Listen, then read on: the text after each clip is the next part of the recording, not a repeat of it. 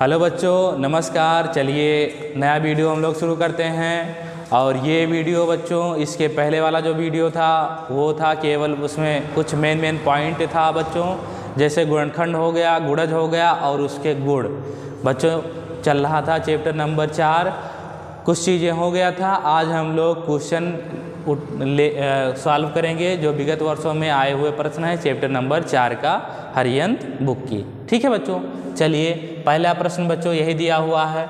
ये आया हुआ है जवाहर नवोदय विद्यालय 2018 में बच्चों। और ये जब प्रश्न आया हुआ था बच्चों, अधिकतर बच्चों ने ये प्रश्न छोड़ दिया था।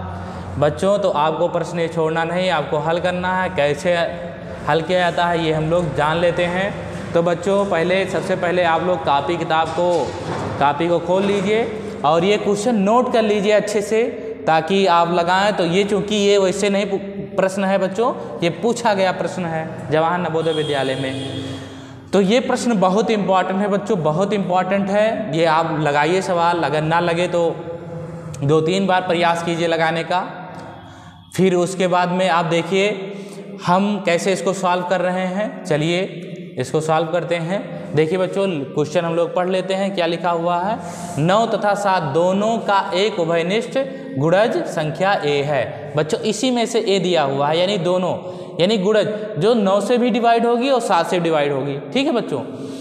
और आगे देख लीजिए क्या लिखा हुआ है। यह संख्या 1200 और 1300 के बीच में है। तो संख्या ए का मान ज्ञात कीजिए। पहले स्टेप में दिया हुआ है नौ और सात। दोनों का एक उभयनिष्ठ गुणज है, यानी सात से भी डिवाइड होगी और नौ से भी डिवाइड होगी। जो वही हो जाएगी। बच्चों, एक ही ऑप्शन ऐसा डालेगा, जो सात से भी डिवाइड हो, नौ से भी डिवाइड हो। यानी भाग देने पर पूरी पूरी तरीके से विभाजित हो जाए और शेष पर कुछ ना आए, यानी नौ से भी और सात से भी। ठीक है बच्चों? तो सबसे पहले देखते हैं ये 12 और 1300 जो लिखा हुआ 1200 और 1300 के बीच में होनी चाहिए। तो देखिए, सबसे पहले 1200 और 1300 के बीच में कौन है? बच्चों, क्या ये 1200 और 1300 के बीच में है? कहें नहीं, ये सो ग्यारह सौ सत्तानबे है। यानी 1200 से तीन कम है, यानी तीन पीछे। ठीक है? ये बीच में नहीं है। 1200 से आगे अगर होगी और 1300 से पीछे जो होगी, वही संख्या होगी। तो यहाँ पर लिखा हुआ ग्यारह सौ सत्तानवे, ये पहला ऑप्शन नहीं होगा। बच्चों, पहला ऑप्शन नहीं होगा। दूसरा देखिए, अब उसमें विभाजता के नियम, ये भी है, ये भी है, ये भी है, ये क्या है बच्चों? बारह और तेरह सौ के बीच में है। कहा से बारह सौ साठ लिखा हुआ है, बारह सौ छः लिखा हुआ, बारह सौ लिखा हुआ। यानी 1200 सौ और तेरह सौ के बीच में तीन संख्या मिल गई। अब देखना क्या है, नौ से कौन विभाजित हो रही है और सात से कौन विभाजित हो रही है। तो बच्चों, हमने पहले ही वीडियो जब बना रहे थे, संख्या पद्धत में ही बता दिया था। कि विभाजिता के नियम यानी एक, दो, तीन, चार, पाँच छः सात, आठ, नौ, पूरे विभाजिता के नियम बताएँ बच्चों। सात वाला थोड़ा सा टफ लग रहा था तो हमने कहा कि चलो सात वाला क्या करते हैं कि वैसे भाग देकर चेक कर लेना। इसमें दे दिया गया है। तो सबसे पहले नौ से विभाजिता, कौन नौ से विभाजित हो रही है? देखिए, अंकों का योग नौ से अगर विभाजित हो रहा है तो वो संख्या नौ से विभाजित होगी। यहाँ देखिए, एक, दो, तीन और छः नौ, यानी नौ आ गया इनका योग, ये नौ से विभाजित होगी। बच्चों, ये देखिए, दो और तीन दो दो और एक, तीन और छः नौ, ये भी हो गया बच्चों। ज़ीरो जोड़ेंगे, वही हो जाएगा, यानी ये भी नौ से विभाजित होगी बच्चों। ये देखिए, एक और तीन, एक और दो, तीन और छः छः तीन, नौ नौ और छः पंद्रह, ये बच्चों ये नहीं होगी, नौ से विभाजित नहीं होगी। दो संख्या मिल गई, नौ से विभाजित होने वाली।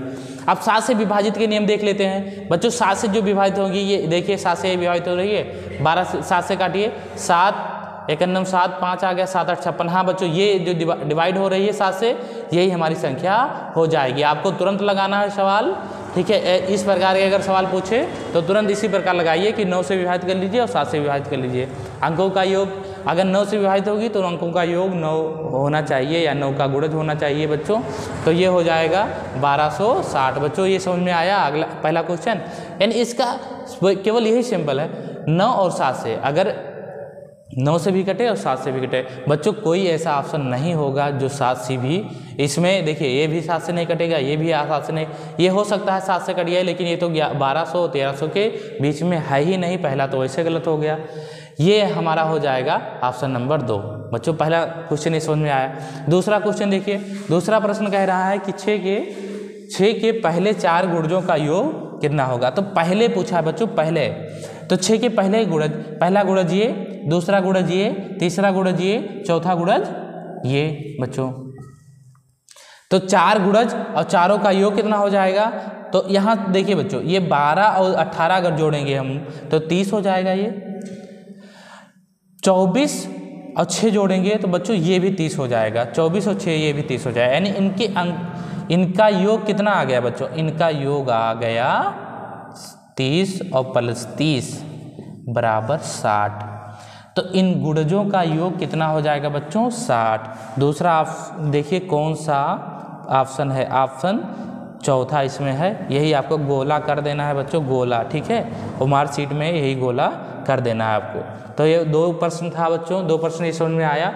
चलिए अगला प्रश्न हम लोग देख लेते हैं। प्रश्न नंबर बच्चों, तीसरा नंबर जो हमारा प्रश्न है, वो छः के प्रथम पाँच गुर्जों का योग है। तो इसमें आपको बताना है, चार ऑप्शन दिया हुआ है छः के प्रथम पाँच गुर्जों का योग इसमें एक दिया हुआ है।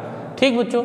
अच्छा इसमें देखिए बच्चों, इसमें जो ये है जवाहर नवोदय विद्यालय 2015 में आया हुआ प्रश्न है बच्चों। ये जल्दी में आया हुआ प्रश्न है इंपॉर्टेंट भी है। इससे रिलेटेड ये प्रश्न आपका दिया हुआ है। ठीक है तो पहले ये देखिए दो तीन जो प्रश्न हमने लिया है, वो कहीं ना कहीं एक दूसरे से जुड़ा हुआ प्रश्न है और आसपास में आया हुआ प्रश्न है। तो हो सकता है यहाँ से प्रश्न बन जाए। इस बार नवोदय विद्यालय में यहाँ से प्रश्न बन जाए। तो सबसे पहले अभी हम लोग बात किए थे छः के प्रथम चार गुणज का योग कितना आया था बच्चों? साठ आ, आ गया था। यानी कौन कौन संख्या थी? छः थी अट्ठारह और चौबीस और फिर बारह इसमें बीच में थी छः बारह अट्ठारह चौबीस और एक हो जाएगा तीस। ठीक? तो यहाँ तक हमारा योग कितना आ गया था? साठ आ गया था। और साठ और तीस इसमें जोड़ देंगे बच्चों कितना हो जाएगा? नब्बे। साठ प्लस तीस नब्बे। यानी पहला तो हमारा हो गया। आप छः के प्रथम पाँच गुर्जों का योग कितना हो जाएगा बच्चों? इन सबको जोड़ लेंगे तो कितना हो जाएगा? नब्बे हो जाएगा। और नब्बे कोई ऑप्शन दिया हुआ, पहला ऑप्शन हमारा दिया हुआ है नब्बे। ये हो गया, तुरंत हो गया। चलिए बहुत ईजी क्वेश्चन था, हो गया।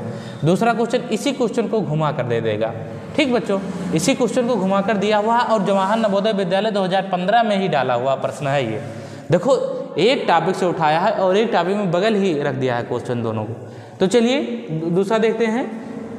चौथा नंबर जो हमारा प्रश्न है बच्चों छः के प्रथम पाँच गुर्जों के योग से आन, बनने वाली या आने वाली संख्या, जो बन रही संख्या, के दहाई तथा इकाई के स्थानों पर आए अंकों का अंतर कितना होगा? इसमें देखिए बच्चों छः के प्रथम पाँच गुर्जों का योग कितना है बच्चों? छः बारह अट्ठारह चौबीस और तीस। इनका योग अभी निकाले हैं बच्चों। इनका योग कितना आ गया था? योग? इनका योग नब्बे आ गया था। अब बच्चों, इसमें देखिए जो नब्बे योग आया है, यानी आने वाली संख्या, के दहाई तथा इकाई के स्थान। दहाई पहले देखो, दहा इकाई ये है ज़ीरो और दहाई नौ है। तो दहाई तथा इकाई के स्थानों पर आए अंकों का अंतर। इन दोनों का अंतर कितना हो जाए? माइनस कर दीजिए। तो नौ में से बच्चों माइनस ज़ीरो करेंगे, कितना हो जाएगा? कहें नौ ही होगा। बच्चों, ये बात समझे तो ऑप्शन कौन सा दिखाई दे रहा है? ये चौथा यही हो जाएगा। दोनों प्रश्न बहुत ईजी प्रश्न था बच्चों। और बहुत आसानी से, बहुत कम समय में सॉल्व हो गया। अगर ऐसा प्रश्न आ रहा है तो परीक्षा में कम से कम समय में इसको सॉल्व करने का प्रयास कीजिए, क्योंकि जब आप कम समय में प्रयास करेंगे, लगाने का सवाल तो टाइम आपका बच जाएगा और जो प्रश्न आप छोड़े हुए हैं, वो प्रश्न आप बाद में कर सकते हैं। ठीक है बच्चों? तो चलिए, चार प्रश्न हो गया है इस वीडियो में, पांचवा प्रश्न हम लोग देख लेते हैं। जो क्वेश्चन नंबर पाँच है, तेरह के प्रथम सात गुर्जों का योग किसके निकटतम होगा? चार ऑप्शन दिया हुआ है। और इन्हीं ऑप्शनों के निकटतम आपको बताना है कौन सा ऑप्शन सही होगा। तो सबसे पहले तेरह के सात सात गुड़ज लिख लेते हैं तो एक हो जाएगा तेरह तेरह दुना छब्बीस, तेरह तेरह उनतालीस, तेरह चौका बावन, तेरह पच्चीस पैंसठ, तेरह छः अठहत्तर, तेरह सत्ते इक्यानबे। ये हो गया। अब इन सबको हम लोग जोड़ लेते हैं बच्चों तो तीन और छः नौ, और नौ अट्ठारह और दो बीस, और पाँच पच्चीस, और आठ पच्चीस और आठ तैंतीस और एक चौंतीस के चार हासिल आ गए तीन, और एक, दो, तीन, और तीन, छः छः, पाँच, ग्यारह ग्यारह और छः, सत्रह सत्रह और सात, चौबीस चौबीस और नौ, तैंतीस तैंतीस और तीन, छत्तीस। तीन सौ चौंसठ, बच्चों, तीन सौ चौंसठ। देखिए, तीन सौ चौंसठ कौन किसके करीब में है? तीन सौ साठ है क्या तीन सौ चौंसठ के करीब में है? कहें कि चार कम है। यहाँ कहें कि तीन एक कम, एक ज़्यादा है। तीन सौ चौंसठ से एक ज़्यादा है। तो निकटतम तो बच्चों सबसे अभी यही हो जाएगा। ये सत्तर है, ये भी ज़्यादा है, ये भी ज़्यादा है। तो ऑप्शन नंबर हमारा दूसरा सही हो जाएगा। दूसरा करेक्ट आंसर हो जाएगा। ठीक? तीसरा बच्चों क्वेश्चन नंबर छः हम लोग देख लेते हैं। तीस के तीस के गुड़ज हैं। जवाहर नवोदय विद्यालय 2011 में आया हुआ प्रश्न है। तो बच्चों देखिए, एक से तीस कट रहा है, दो से भी तीस कट रहा है, तीन से भी तीस कट रहा है, चार से भी कट रहा है, पाँच से भी कट रहा है, चार से नहीं, चार तो है ही नहीं, दस से भी कट रहा है। चलो ये हो गया। चौथा ऑप्शन एक नहीं लिखे हैं बच्चों। चौथा ऑप्शन हो जाएगा